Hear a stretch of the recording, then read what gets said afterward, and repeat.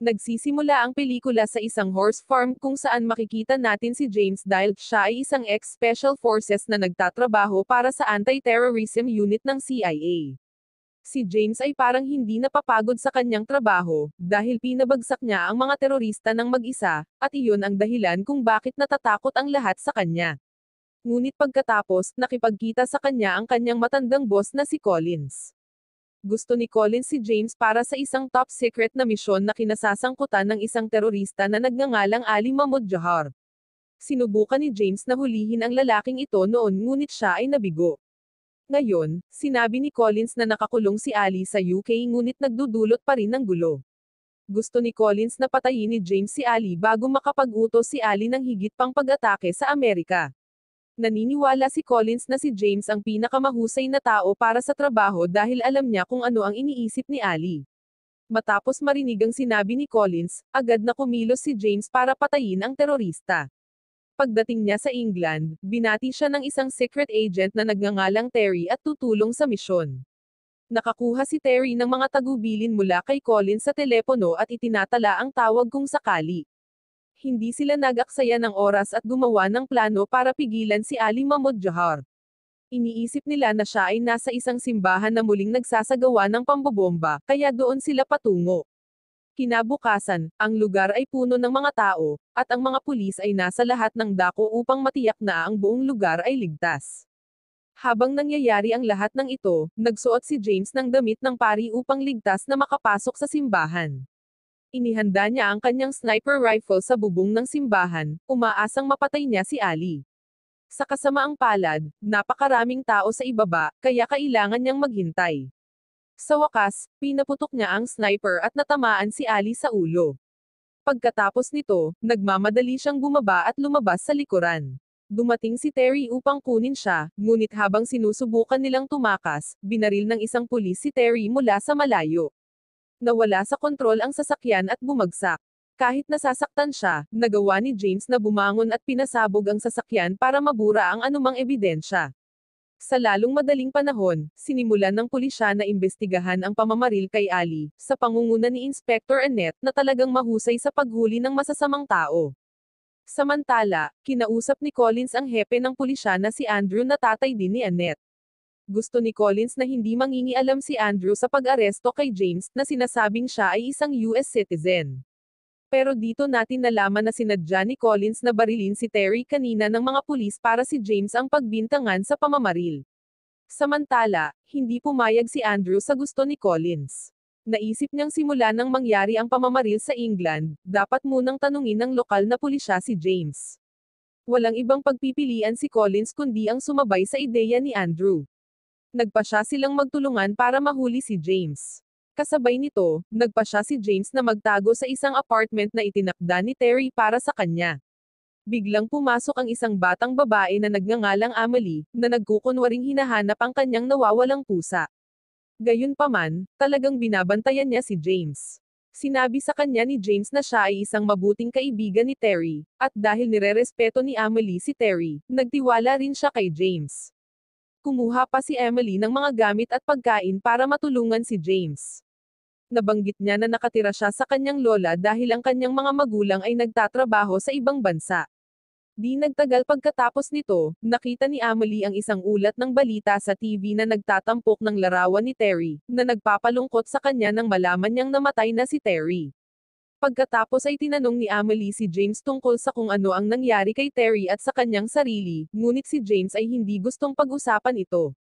Kinabukasan, sa wakas nakuha na ng mga pulis ang CCTV footage na tila nag-uugnay kay James sa kaso. Gayunpaman, sinabi ni Andrew kay Annette na tahimik na mag-imbestiga nang hindi malalaman ni Collins. Si Andrew ay may hinala na si Collins ay may kinalaman sa pamamaril. Kasabay nito, tinawagan ni James si Collins para pag-usapan ang kanyang sitwasyon. Nangako si Collins na ayusin ang lahat at ibabalik si James sa United States. Gayunpaman, nagsimulang magduda si James kay Collins dahil dapat ay nagpadala siya ng tulong ng mas maaga. Parang walang pakialam si Collins sa kaligtasan ni James. Kaya nagpa siya si James na talikuran ang misyon at bumalik sa Amerika ng mag-isa. Nang makarating si James sa airport ay agad siyang sinuri ng mga security personnel. Sa panahon ng inspeksyon, naramdaman ni James na ang British Police ay nagpadala ng mga undercover na ahente sa paliparan. Upang kilalanin ang mga ahente na ito, gumawa siya ng isang trick sa pamamagitan ng paggawa ng isang anunsyo sa mga speaker ng airport.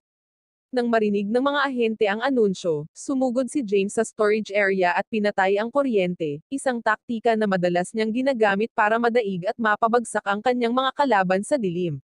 Sa loob ng ilang sandali, nagawa silang talunin ni James. Biglang sumulpat si Andrew na nakatutok ang baril kay James. Kinailangan ni James na pakalmayan ang sitwasyon, paliwanag niya na sumusunod lang siya sa utos ni Collins at walang masamang intensyon. Pinili pa niyang huwag patayin ang mga espiya ng pulis, kahit na kung gugustuhin niya ay madali niyang patayin ang mga ito. Habang nakikinig si Andrew sa paliwanag ni James, biglang umalangaw-ngaw ang isang putok ng baril, at si Collins ang nagpaputok ng baril, na tumama kay Andrew. Sinubukan din ni Collins na patayin si James doon, ngunit nakatakas ang dating operatiba ng Special Forces. Pagkatapos ay nagbalat kayo siya bilang isang piloto upang makagawa ng ligtas na paglabas mula sa paliparan.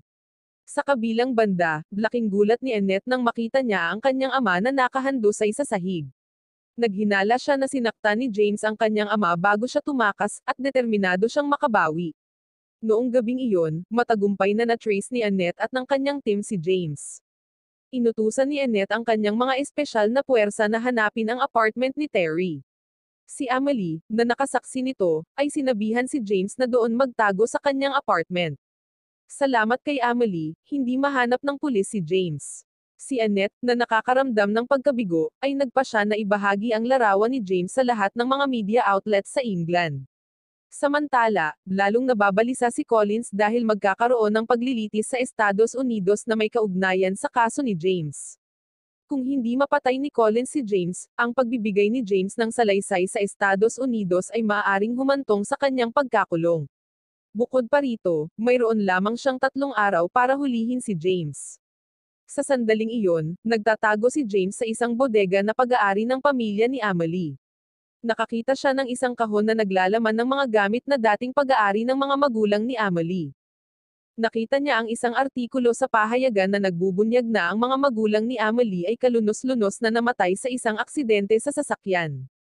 Ito ay naging malinaw na si Amelie ay nagsasabi sa kanyang sarili ng ibang kwento upang protektahan ang kanyang sarili mula sa kalungkutan. Maya-maya, pumasok si Amelie sa bodega at ipinaalam kay James na nakaplaster ang mukha niya sa buong media. Kinailangan ni James na umalis sa England nang walang pagkaantala. Nang sumunod na araw, binisita ni James ang isang lalaking nagngangalang Harris, isang kontak ni Terry. Si Harris ay isang dalubhasa sa paglikha ng mga peking ID at paggawa ng mga peking pasaporte. Agad na kailangan ni James ng bagong pagkakakilanlan at pasaporte. Noong una, nagatubili si Harris dahil alam niyang tinutugi si James ng mga pulis. Gayunpaman, nang makita niya ang malaking halaga ng pera na inaalok, kalaunan ay pumayag siyang tumulong. Sa pag-alis ni James, nabalitaan ni Harris na ang mga pulis ay nag-aalok ng malaking gantimpala para sa sinumang makakahanap kay James. Nang marinig ito, agad na ini-report ni Harris si James sa pulisya. Samantala, bumalik si James sa kanyang pinagtataguan, na matyagang naghihintay na may handa ang kanyang bagong pasaporte. Sa panahong ito, sinabi ni Amelie ang isang nakakagulat na detalye tungkol sa jacket na suot ni James, dating pag-aari ito ng kanyang ama. Madalas isuot ng kanyang ama ang mismong jacket na iyon bago siya umalis. Narinig ni James ang mga pagsisinungaling ni Emily at hinimok siya na tanggapin ang pagkawala ng kanyang mga magulang. Upang mapabuti ang kanyang damdamin, nagbahagi si James ng mga kwento tungkol sa kanyang alagang kabayo kay Emily, na nagbigay ng ngiti sa kanyang mukha. Habang naghahanda si James na kunin ang kanyang pasaporte, inaasahan niyang babalik si Emily sa apartment ng kanyang lola. Gayunpaman, may iba't ibang plano si Emily. Ipinahayag niya ang kanyang determinasyon na tulungan si James, kumbinsido na ang mga pulis ay naghahanda na. Walang pag-aalinlangan, matapang na pinasok ni Emily ang shop ni Harris upang matiyak na ligtas ito, at natuklasan na nakapasok na si Annette at ang kanyang koponan sa lugar. Maingat na sinenyasan ni Emily si James na lumayo doon. Samantala, biglang ginulo ni Collins ang operasyon ni Annette, hindi niya matanggap ang ideya na arestuhin si James ng British Police. Gayunpaman, sa takot na baka mapahamak siya nito, hindi pinansin ni Annette si Collins at agad na inutusan ang kanyang koponan na habulin si James. Sa hangarin na maunahan sila, sumali din sa paghabol si Collins at ang kanyang mga tauhan. Sa kabutihang palad, si James ay nagtataglay ng mga kasanayan na nagbigay daan sa kanya na mawala sa kanilang paningin, sa huli ay hindi nila siya nahuli. Habang nangyayari ito, sinilip ni Amelie ang kanyang apartment para sa anumang palatandaan ni James ngunit hindi niya nakita doon si James. Makalipas ang ilang sandali, tinawag si Amelie ng kanyang lola para sa isang pribadong pag-uusap. Sa kanilang pag-uusap, ang kanyang lola ay nag-alok ng taos-pusong paghingi ng tawad dahil sa hindi niya kayang alagaan si Amelie tulad ng magagawa ng kanyang mga magulang. Nangako siyang maging isang mapagmahal at mapagmalasakit na lola mula sa sandaling iyon. Habang lumalalim ang gabi, pumunta si Emily sa kanyang silid upang matulog, ngunit sa kanyang pagtataka, nakita niyang nandoon na si James. Dumating si James para magpaalam kay Emily dahil isusuko na niya ang kanyang sarili sa pulis. Bago siya umalis ay may nakita siyang laptop na kamukha ni Terry. Regalo pala iyon ni Terry. Naalala ni James na si Terry ay nagtala ng mga pag-uusap kay Collins na maaaring magsilbing patunay na si Collins ang utak sa likod ng pamamaril sa terorista.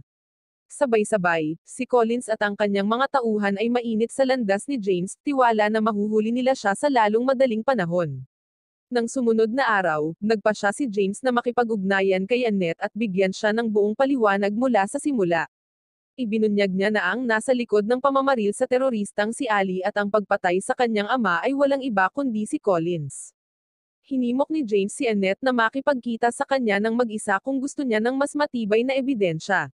Bago ang pagpupulong na iyon, hiniling ni James kay Emily ang isang shortcut para makaiwas sa pulisya at hiniling na kung hindi siya makakarating, dapat niyang ibigay ang laptop ni Terry sa mga autoridad. Hindi nagtagal, nakarating si James sa meeting point at ibinigay kay Annette ang isang recording na naglalaman ng ebidensya ng mga krimen ni Collins sa nakalipas na ilang taon. Kahit na tinulungan ni James ang pulisya, determinado si Annette na sundin ang tamang pamamaraan para sa kanyang pag-aresto. Biglang pinaputukan ni Collins si James, dahilan para bumagsak ito sa lupa. Nang masaksihan ito, sumugod si Annette upang protektahan si James habang si Collins at ang kanyang mga tauhan ay umatake. Sa hindi inaasahang pagkakataon, si James, na nakahiga sa lupa, ay bumangon at lumaban. Pagkatapos, iminungkahi ni James kay Annette na dapat silang magtulungan, na tiniyak sa kanya na hindi niya sila pakikitunguhan sa karaniwang paraan. Dinala niya sila sa isang madilim na lagusan ng tren at naglunsad ng sorpresang pag-atake mula sa hindi inaasahang anggulo, na nagtanim ng takot sa mga humahabol sa kanya. Pagkatapos ay pinayuhan niya si Annette na umalis muna, dahil tila nabigla ito sa kanyang kalupitan. Samantala, layunin pa rin ni James na patayin silang lahat. Naglagay siya ng bitag gamit ang isang cable, at nang matapakan ito ng kanyang kalaban, binaril niya sila sa mukha. Sumunod, inakit niya ang mga tauhan ni Collins sa isang gusaling nasa ilalim ng pagsasaayos, kaya naging mahirap para sa kanila na lumaban. Walang humpay na nilabanan sila ni James hanggang sa matalo sila. Matapos makipaglaban sa lahat ng tauhan ni Collins, si James ay pumunta sa isang hotel para magtago upang maiwasan ang potensyal na pag-atake ni Collins. Gayunpaman, dumating si Collins na armado, sinusubukang harapin si James sa harap ng maraming tao. Si James ay nanatiling kalmado at nakagawa ng isang matalinong panlilinlang, na nilinlang si Collins sa pamamagitan ng pagbaril sa bakod ng usok, na nagpapahintulot sa kanya na baguhin ang kanyang posisyon ng hindi napapansin. Kasunod nito, binaril ni James si Collins sa tainga, na napilitang umalis sa pagtatago. Nagbarilan sila hanggang sa nasugatan ang isa sa kanila. Pareho silang nagtamo ng kritikal na pinsala, ngunit nakaligtas si James, habang si Collins ay hindi na nakatiis sa sakit at namatay. Samantala, sa wakas ay natuklasan ng pulisya ang ebidensya na nagpapahiwatig na si Collins ang may pananagutan sa pagkamatay ng ama ni Annette. Kasabay nito, pinangunahan ni Annette ang kanyang koponan sa hotel upang hulihin si Collins. Sa kasamaang palad, si Collins ay namatay na, at si James ay nawala sa eksena. Ibinahagi ni Annette ang ebidensya ng mga krimen ni Collins sa kanyang mga kasamahan, na humantong sa pag-aresto sa mga natitirang miyembro ng gang ni Collins. Sa isa pang tala, nakatagpo ni Amelie si James na malubhang nasugatan. Ipinahayag niya ang kanyang nais na samahan si James ngunit hindi niya ito may sama dahil may pamilya pa si Amelie sa England. Bukod pa rito, masyadong hindi tiyak na ligtas ang buhay ni James para isama siya. Nagpa siya siyang umuwi sa Estados Unidos ng mag-isa. Pagkaalis ni James, nilapitan ni Annette si Amelie at ibinunyag na sinadya niyang makatakas si James dahil iniligtas nito ang kanyang buhay. Pagkalipas ng ilang buwan, nagpadala si James ng liham kay Amelie at sa kanyang lola kasama ang dalawang tiket sa eroplano papuntang Estados Unidos. Inanyayahan sila ni James sa kanyang tahanan upang magsanay kasama ang mga kabayo. Wow naman! Doon nagtatapos ang pelikula mga idolo, salamat sa inyong panonood.